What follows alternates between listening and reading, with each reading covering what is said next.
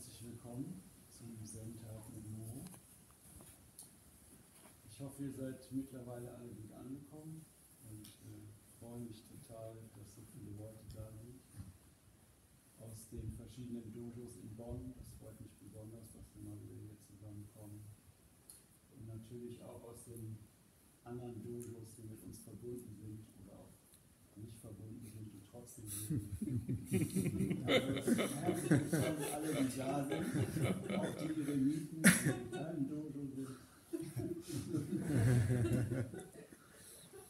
Ich freue mich, dass wir hier zusammen sitzen können. Ich freue mich, dass du da bist, Muhu. Wir hatten ja gestern Abend schon einen Vortrag hier gehört. Einige von euch waren auch da. Und jetzt werden wir noch einen Vortrag von dir hören. Und äh, heute Nachmittag gibt es dann auch nochmal Gelegenheit, Fragen zu stellen. Dann würde ich dir gerne das Wort geben. Ja, einen schönen guten Morgen. Äh, vielen Dank, dass ich hier sein darf.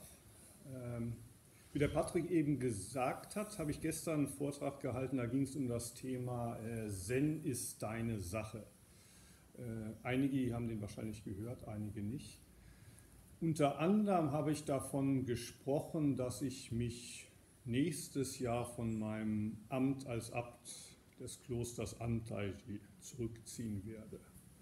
Und dass das für mich auch eine Erleichterung bedeutet und dass ich auch neugierig bin, was das Leben noch für mich so äh, parat hat.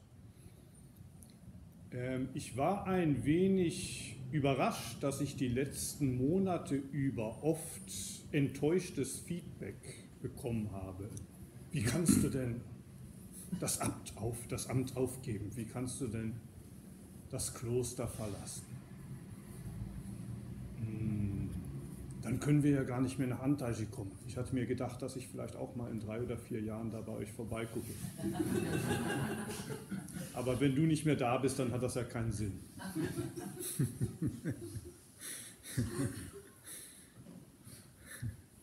ähm,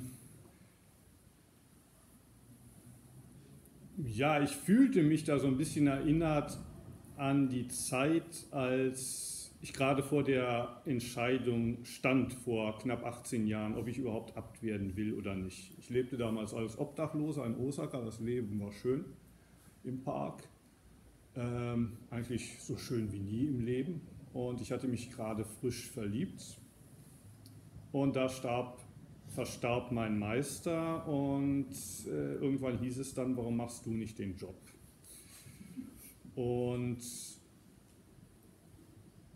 ich wollte mich aber nicht von meiner Freundin trennen, also fragte ich sie, ob sie meine Frau werden würde. Und ja, inzwischen sind wir äh, 17 Jahre mehr oder weniger glücklich miteinander verheiratet. Und da war ich wiederum überrascht, dass äh, viele meiner Dharma-Brüder ganz entsetzt waren und sagten, wie, wie kannst du heiraten? Wir wollten, dass wenigstens du das Zölibat einhältst. Und die waren sämtlich verheiratet. Also es war keiner von denen nicht verheiratet. Die waren verheiratet und sagten, wir wünschten uns, dass wenigstens du unverheiratet bleibst. Deshalb meine erste Reaktion auf diese enttäuschten ja, Feedbacks ist dann, ja, warum machst du nicht den Job für mich in Anteil? Warum bist du nicht schon vor zehn Jahren gekommen und hast den Laden mit mir zehn Jahre lang gemanagt und dann könntest du den Job für mich unternehmen, übernehmen. Das wäre eigentlich das Beste. Wenn du das zu deiner Sache machst. Aber leider gibt es viele Leute, die da eher so wie Zuschauer sind. Ich finde das ganz toll, was der Mucho da macht in Japan seit fast 30 Jahren in Antaisi und dann ist er Abt geworden. So ein bisschen wie damals in der Bildzeitung, wir sind Papst. Jetzt sind wir, wir sind Abt, wir sind Abt in Japan. Und jetzt sind wir nicht mehr Abt und alle sind enttäuscht.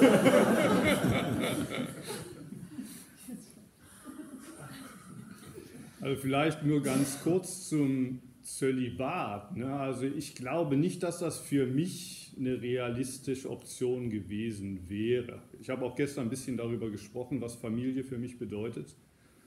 Ähm, also ich weiß nicht, ob das für mich ginge, ganz ohne Romantik und ganz ohne Sex ein Leben lang. Ich weiß nicht, ob ich das schaffen würde. Aber ich habe großen Respekt davor, wenn andere sagen, ich will das mal probieren. Ähm, das Leben für den Dharma ist mir so wichtig, dass alles andere dagegen verbleicht. Und ich will meine ganze Energie nur für die Praxis investieren. Da habe ich großen Respekt davor. Ich will mich nicht darüber lustig machen. Aber es ist eine Sache zu sagen, ich mache das, das ist meine Sache, ich mache den Zölibat zu meiner Sache. Es ist eine andere Sache zu sagen, ich will, dass ihr das auch macht. Wiederum was anderes, wenn man sagt, ich will, dass du das machst, aber ich mache es nicht.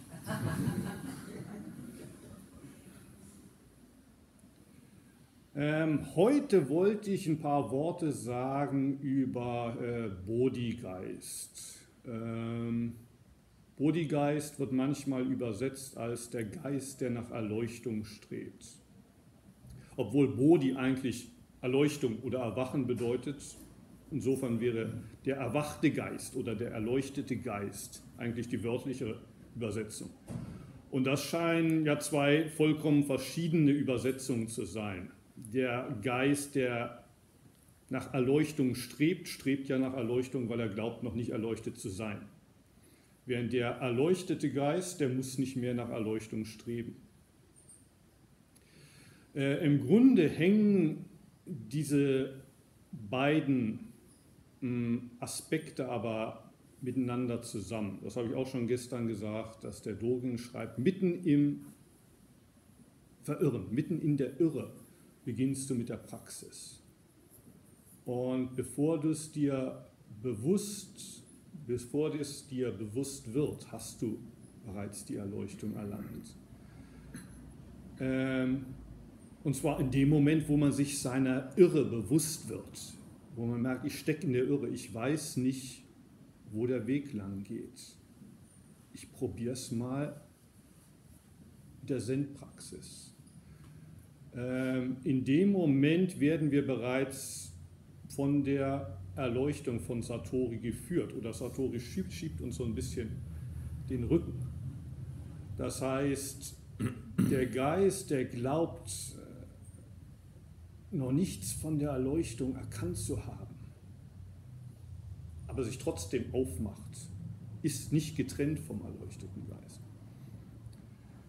Und selbst wenn wir vielleicht verschiedene Erfahrungen gemacht haben, die uns davon überzeugt haben, dass all das, was wir in den Büchern gelesen haben, was wir von den Lehrern gehört haben, nicht nur schöne Worte sind, sondern dass das tatsächlich stimmt, und zwar hier in diesem Moment. Wenn man dann aufhört, weiterzusuchen, wenn man aufhört, sich zum Beispiel diese Frage zu stellen, warum mache ich das? Ist das wirklich meine Sache? Dann ist es vielleicht noch nicht das richtige Satori. War das Bendova? Ich glaube, es war Bendova, wo ähm, Dogen ein Koan erzählt von einem Schüler, der lange Zeit bei einem Meister war und dann den Meister wechselt, in ein neues äh, Kloster eintritt, aber da nie Fragen stellt. Er praktiziert mit der Sangha, bereitet keine besonderen Probleme, aber stellt nie eine Frage. Und der Meister fragt den Schüler dann irgendwann, du bist hier jetzt schon einige Zeit, wie kommt es, dass du mir noch nie eine Frage gestellt hast? Und äh, der Schüler sagt, äh, ja, ich habe es bisher verschwiegen, aber um ehrlich zu sein, ich bin erleuchtet. Und das war in dem Kloster, wo ich vorher war, bei meinem alten Meister. Und da fragt der neue Meister, ja, wie ist das denn gekommen? Ähm, und der Schüler sagt, ja, meinen alten Meister, den habe ich gefragt, was ist mein wahres Selbst? Und der Meister sagte, das ist so wie wenn der Gott des Feuers nach dem Feuer sucht. Oder man könnte auch sagen, es ist so wie Feuer, das nach Feuer sucht. Und da fiel es mir wie Schuppen von den Augen. Und der neue Meister sagt, ja, das ist ein schöner Satz, aber ich fürchte, dass du ihn nicht verstanden hast. Und der Schüler ist ärgerlich darüber und geht raus aus dem Raum. Ne? Und als er gerade rausgehen will, da ruft ihn der Meister zurück und er blickt sich um und der Meister sagt, das Feuer sucht nach Feuer. Worum es dabei geht, ist, na, das Feuer steht für unsere wahre Natur. Und da wir diese wahre Natur immer schon leben, in diesem Moment, ob wir uns dessen bewusst sind oder nicht, gibt es eigentlich keinen Grund danach zu suchen. Es gibt eigentlich nichts zu suchen. Wenn wir da ein Auto vor dem Fenster vorbeifahren hören, dann hören wir unsere wahre Natur. Unsere wahre Natur hört das Auto. Und das, was wir da hören, ist auch wahre Natur. Wir kommen da gar nicht raus. Insofern ist es schon richtig und so hat der Schüler des, den Satz ursprünglich interpretiert. Feuer muss eigentlich gar nicht nach Feuer suchen. Wasser muss nicht nach Wasser suchen. Wasser ist schon Wasser. Feuer ist Feuer. Das wahre Selbst war nie etwas anderes als wahres Selbst. Allerdings sollte man sich auf diesen Lorbeeren nicht ausruhen.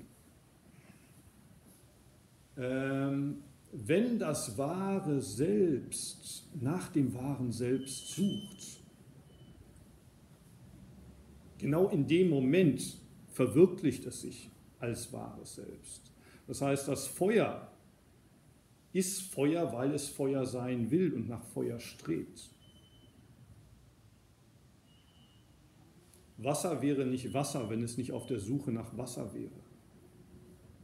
Und so eben auch mit dem erleuchteten Geist. Wenn da einer sagt, ich bin schon erleuchtet, jetzt muss ich keine Fragen mehr stellen, weder an mich selbst noch an andere, ich habe nichts mehr zu lernen, da stimmt was nicht mit der Erleuchtung. Während der, dessen Geist ihm sagt, da fehlt doch noch was, ich habe wahrscheinlich doch noch eine Menge zu lernen, dieser Gedanke, die Stimme, die in dem Moment spricht, da fehlt noch was. Das ist auch die Stimme der Erleuchtung. Insofern, ich persönlich bevorzuge die Übersetzung erwachter Geist für Bodhigeist, aber die Übersetzung der Geist, der nach dem Erwachen sucht, der nach der Erleuchtung sucht, ist auch nicht falsch. Es ist im Grunde derselbe Geist, der sich selbst sucht der Geist auf der Suche seiner, nach seiner selbst. Und der Dogen spricht in seinen vielen Texten immer wieder vom Bodhigeist.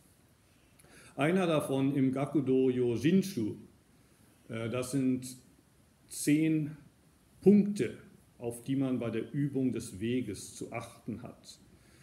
Ähm, der erste Punkt davon ist das Erwecken von Bodhi-Geist. Also Dogen sagt an allererster Stelle, zuallererst musst du Bodhi-Geist haben. Und er sagt das auch immer wieder, ohne Bodhi-Geist lohnt es sich eigentlich gar nicht, diesen Weg zu gehen.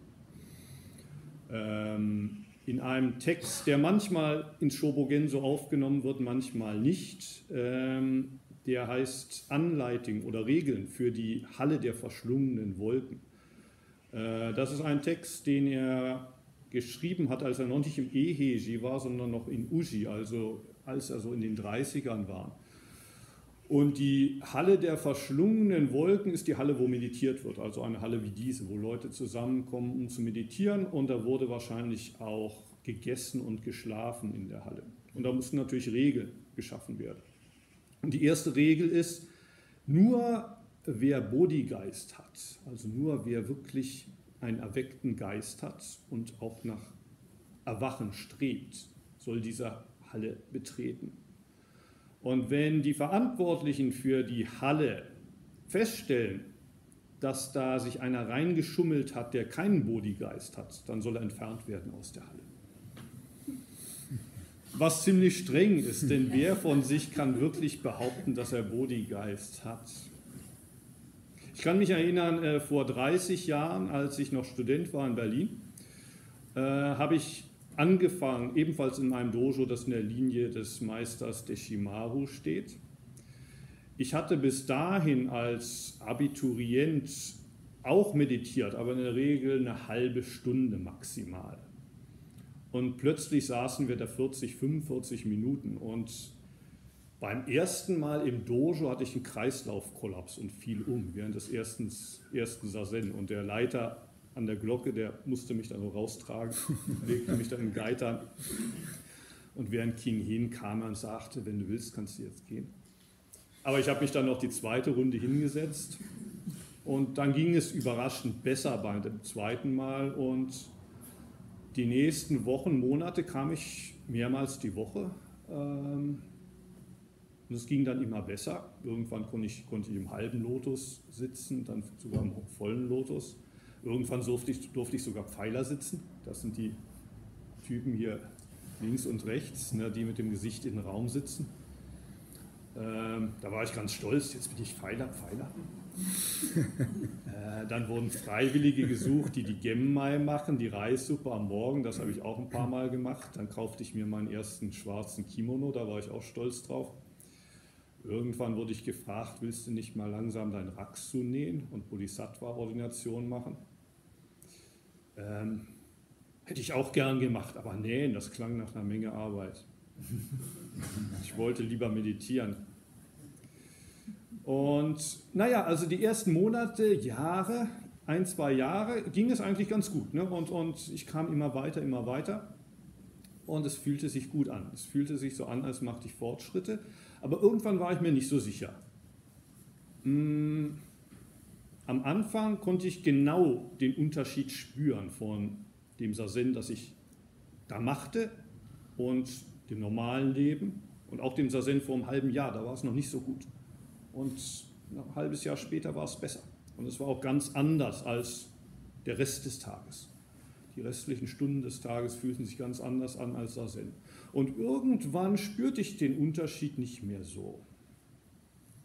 Sazen zwar war immer noch gut, aber es war nicht mehr so besonders und da war auch kein Fortschritt bemerkbar zum halben Jahr vorher.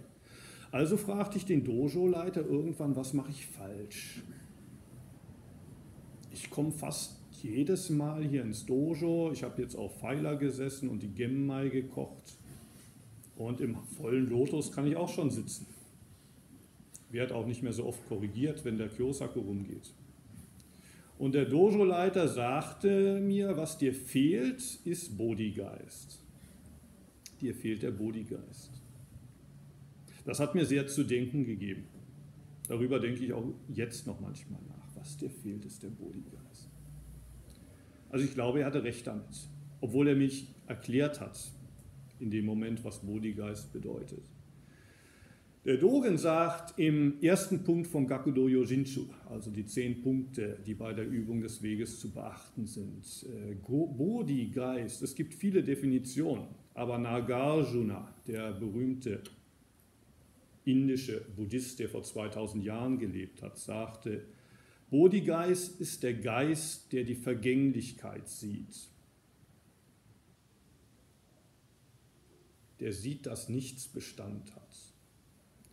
Und ich glaube, als Dogen das gesagt hat, also vor 800 Jahren in Japan, ich könnte mir vorstellen, dass viele der Zuhörer sich gedacht haben, das weiß doch jeder. Damals befand sich Japan im Krieg, nicht mit dem Ausland, sondern Japan selbst, Bürgerkrieg sozusagen. Also der eine Clan kämpfte gegen den anderen Clan, ein Shogun gegen den anderen.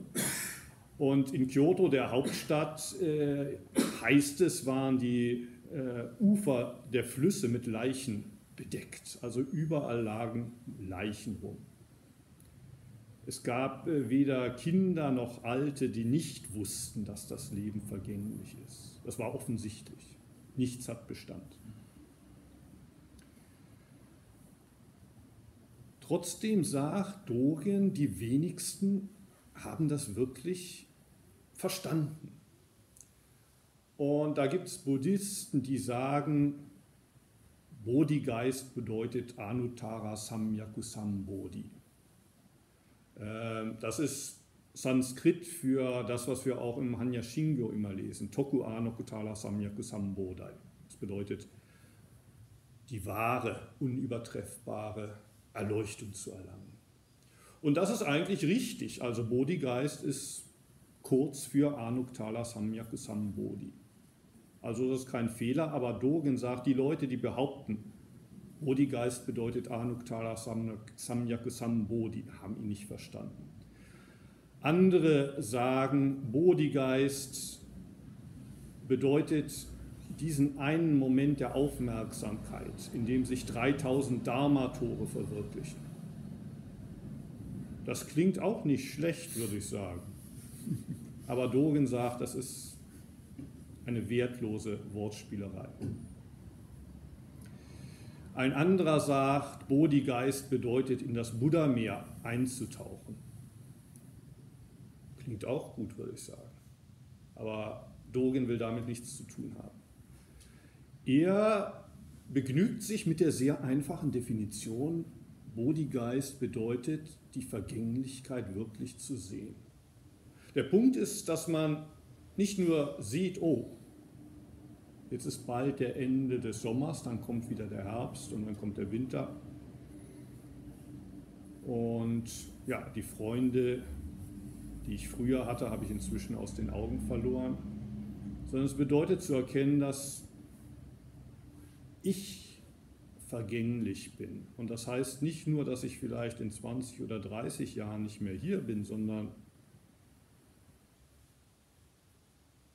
dass selbst dieser eine Tag, dass ich den nur jetzt hier habe und morgen bin ich nicht mehr da. Der, der jetzt hier spricht, schon in einer Stunde, wenn wir die nächste Sazen-Sitzung haben, ist er nicht mehr da. Ich spreche zwar vom Muho und im Pass vom Muho steht, dass der am 1. März 1968 geboren ist und mit dem identifiziere ich mich. Wenn man mich fragt, wer bist du, sage ich, ich bin der Muho. Den Muho gibt es auch morgen noch und hoffentlich in 10, 20, 30 Jahren. Aber mich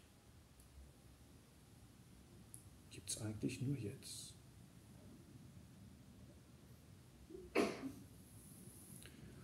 Und wenn man das wirklich verstanden hat, dann gibt es nichts, an dem man festhalten könnte oder müsste. Normalerweise identifizieren, uns, identifizieren wir uns mit dem Mucho oder mit dem Patrick oder mit der Johanna oder je nachdem, welche Figur wir da spielen auf dem Spielbrett. Aber letztlich geht es nicht um diese Figur. Wir sind nicht diese Figur. Und wenn man das wirklich verstanden hat, dann ist man befreit von diesem Spiel, von Gewinnen und Verlieren und Punkte sammeln. Das ist der erste Schritt von Bodhigeist oder das ist Bodhigeist, sagt Dogen. Und in einem Text, in dem es darum geht, ähm, welche Geisteshandlung der Koch haben soll, Tenso Kyokun, da sagt er ebenfalls über den Koch, die erste Bedingung für den Koch ist, dass er Bodygeist hat. Wenn er keinen Bodygeist hat, dann wird er eine Menge Mühe haben bei der Arbeit und keinen Erfolg. Also wenn wir uns manchmal so fühlen, dass wir bei der Arbeit uns eine Menge Mühe geben, aber das wird nicht zur Kenntnis genommen, wir haben keinen Erfolg damit, vielleicht liegt es auch am Mangel von Bodygeist. Und äh, er spricht dann von drei Herzen, die eigentlich alle Ausdruck von Bodhigeist sind. Das erste Herz ist das freudige Herz. Dogen sagt äh, interessanterweise, wir sollten uns, nicht, uns freuen, nicht im Himmel geboren zu sein. Im Buddhismus gibt es bekanntlicherweise die Lehre von, den, von der Wiedergeburt in sechs verschiedenen Seinsbereichen. Manche glauben da wörtlich dran, manche nehmen das als eine Metapher. Äh, wie dem auch sei, der unterste, der unangenehmste Seinsbereich ist die Hölle, die im Buddhismus anders als im Christentum nicht ewig währt. Ewig währt. Also die buddhistische Hölle ist mehr sowas wie das Fegefeuer im Katholizismus. Äh, da kommt man hin, wenn man schlechtes Karma angesammelt hat und muss da unter Umständen Hunderte, vielleicht sogar Tausende von Jahren schmoren. Oder man landet auf einem Berg mit Nadeln oder man landet wörtlich in der Scheiße und steckt da. Jahrtausende. Aber es hat irgendwann mal ein Ende. Aber natürlich will da keiner hin, klar. Gott sei Dank bin ich nicht in der Hölle, da kann man sich freuen. Das zweite Reich, der zweite Seinsbereich ist der Bereich der hungrigen Geister. Die wollen immer noch mehr. Allerdings, man kann denen die köstlichsten Speisen vorsetzen. Der Rachen von denen ist so eng, dass er nicht, diese Speisen nicht durchpassen wollen. Äh, Gaki heißen die auf Japanisch. Ne? Die Gaki sind immer hungrig, wollen immer noch mehr und nichts kann sie zufriedenstellen.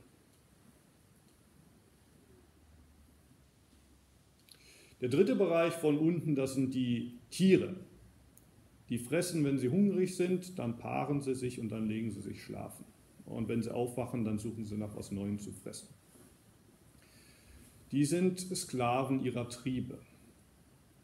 Und der vierte Bereich von unten sind die wütenden Dämonen, die sich immer ärgern über die anderen und über sich selbst. Da ist nichts von Nächstenliebe und auch nichts von Selbstliebe zu finden. Ständig dieser Hass, der einen umtreibt. Und letztlich sind diese ersten vier Bereiche, glaube ich, ein Bild für unser Leben, wie wir es gewöhnlich leben. Manchmal beklagen wir uns über die Hölle des Lebens, wir haben immer irgendwelche Wünsche, die der Weihnachtsmann noch nicht erfüllt hat. Die Wunschliste ist lang. Als Kinder haben wir die Briefe an den Weihnachtsmann geschickt. Heute haben wir unsere Wunschliste bei Amazon. Und selbst wenn wir uns da was bestellen oder jemand bestellt was für uns, wenn es ankommt wir haben die, auf, die Kiste aufgemacht, merken wir schon, das war es wieder nicht. Ich will eigentlich was anderes. So ist es manchmal auch bei den Beziehungen endlich eine Freundin gefunden. Zwei, drei Wochen später merkt man, es war doch nicht die richtige. Das Auto war nicht das Richtige, das Haus, das man sich endlich gebaut hat, hat einen auch nicht glücklich gemacht. Wir sind alle hungrige Geister. Drei Jahre Sazen, fünf Jahre Sazen, zehn Jahre Sazen, immer noch keine Erleuchtung. Wann kommt endlich die Erleuchtung? Und selbst wenn sie schon da sind, sie, sie passt nicht durch unseren schmalen Rachen. Wir leben das wahre Selbst schon, aber es ist immer noch nicht genug. Und den wütenden Dämon, den kennt auch jeder aus dem Dojo, den Nachbarn, der immer meckert. Ja, und hier sitzt auch einer. Man selbst macht das auch. Und als Menschen haben wir das Privileg, dass wir manchmal auch wieder zu uns kommen, zu unseren Sinnen kommen nüchtern werden und ja eben diese Erkenntnis haben, hier, vielleicht sitzt das Problem ja hier. Vielleicht sollte ich mal versuchen, hier was zu ändern. Klar, der Lehrer ist nicht perfekt, die Eltern waren nicht perfekt, die, der Ehepartner ist nicht perfekt, die Kinder sind auch nicht perfekt. Aber wenn ich was ändern will, dann sollte ich mal hier beginnen. Und hm, Zen-Praxis ist ein Weg, sich dessen bewusst zu machen, bewusst zu werden. Das können wir, weil wir Menschen sind. Und der letzte Seinsbereich, der Himmel, ist ebenfalls, so wie die Hölle, nicht ewig im Buddhismus, aber währt ebenfalls lange, hunderte Jahre, tausende von Jahren da fliegt einem alles zu. Das ist so wie im Schlaraffenland. Da gibt es immer Freibier und man kann so viel trinken, wie man will. Am nächsten Tag wird man keinen Kater haben. Kein Leiden, keine Schmerzen, kein Zächchen, keine Dojos, kein Shobogenso. Jeden Tag räkelt man sich auf der Couch und Dogen sagt, sei froh, dass du nicht da gelandet bist. Warum? Eben, Deshalb, weil es da das Shobogenso vom Dogen nicht zu kaufen gibt. ähm, soll heißen, im Himmelreich guckt man nie in den Spiegel. Man fragt sich nie, woher kommt das Leiden, denn da gibt es ja kein Leiden. Deshalb gibt es auch keinen Weg zur Praxis. Und wenn das gute Karma nach tausenden von Jahren aufgebraucht ist, weiß man nicht, wo man als nächstes hinkommt. Wenn die große, lange Party vorbei ist, kommt dann doch wahrscheinlich irgendwann mal der große Kater. Deshalb, Dogen sagt, als Koch solltest du dich erstmal freuen, in der Küche zu stehen. Heute gibt es leider hier keinen Koch. Ähm, ist auch nicht so einfach in einer Situation wie hier für 60 Leute zu kochen. Ähm, wir haben auch, glaube ich, keine Küche hier. Ähm ich weiß nicht, wie es in anderen Dojos ist, aber in Antaiji Koch war nie mein Lieblingsjob. Ich habe auch gestern schon darüber gesprochen, ne, über die ganzen Fehler, die ich da so gemacht habe als, hab als Koch und die Kritik, die ich dafür einstecken musste. Ähm, immer wenn ich dran war mit Kochdienst, habe ich mich ja geärgert darüber. Zum Beispiel im Winter, wenn es kalt ist, da kommt in Anteich ein Holzofen in die Meditationshalle und das ist einigermaßen warm. Ähm, es gibt aber nur in der Meditationshalle den Holzofen, die Küche ist kalt. Und morgens um vier muss der Koch da alleine erstmal Feuer machen im Herd und bis sechs, bis zum Frühstück, den Reis kochen, die Suppe machen, zwei Nebengerichte mit dem spärlichen Gemüse zubereiten. Ähm, während die anderen, dachte ich mir zumindest, da wahrscheinlich ein Nickerchen halten in der warmen Sennhalle bis um sechs. Und um sechs wird äh, gegessen. Bei uns gibt es hier auch gleich äh, Mittagessen, das essen wir schweigend. Und hinterher wird dann noch aufgeräumt, in der Regel auch schweigend, und dann geht es weiter mit der Praxis.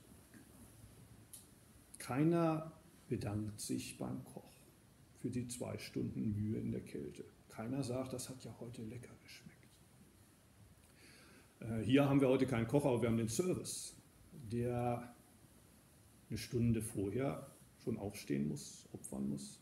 Oder ist das so? Nee. Einser-Sinn. Ne? Also der Service opfert einen Teil seiner Praxis. Gut, Service ist auch Praxis. Aber wenn man dann das tatsächlich bedient und die essen das und man muss hinterher essen, wenn die anderen eine Pause haben, keiner sagt Danke, danke für den Service, dann fragt man sich auch als Service manchmal, warum mache ich das eigentlich? Wenn sich da wenigstens einer bedanken würde, wenn das wenigstens zur Kenntnis genommen würde, dass man das für die anderen macht, dann würde es sehr viel leichter. Aber das wird manchmal gar nicht zur Kenntnis genommen. Oder wenn man Feedback bekommt, dann heißt es, ja, du hast das, das und das, das falsch gemacht und hättest dich da verbeugen müssen und äh, du hast zu viel serviert, du hast zu wenig serviert und du hast den vergessen und so weiter und so weiter. Kritik da, da mangelt es nie, ne? aber keiner sagt, ja, danke, dass du das heute mal gemacht hast für uns. Deshalb freudiger Geist, sich darüber zu freuen, dass man hier heute den Job machen darf, den man aufgetragen bekommt. Nicht so einfach. Nicht so einfach. Der zweite Geist oder das zweite Herz, von dem Dogen spricht, ist der, das alte Herz. Und Dogen sagt, das ist ein Wort für Elternherz. Wenn die Eltern oder die Großeltern sich um ein Säugling kümmern, dem die Flasche geben, dann warten sie auch nicht darauf, dass der Danke sagt hinterher und denen hilft, die Flasche sauber zu machen und er hilft auch nicht beim Windeln wechseln. Trotzdem, die Eltern sind dann froh, wenn sie sehen, das Baby ist satt und ist eingeschlafen. Wenn man die Einstellung hat, dann ist es sehr viel einfacher.